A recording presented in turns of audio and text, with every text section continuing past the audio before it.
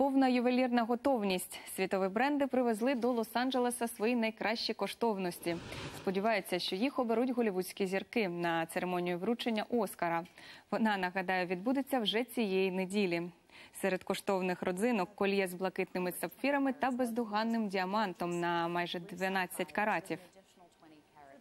Ми привезли найкраще з усього світу. Для нашої компанії це дуже хороша пора. На попередній церемонії вручення золотого глобусу ми вже надавали прикраси для Джулії Робертс, Джуліани Мур, Меліси Макарті. Впевнена, цей перелік продовжиться.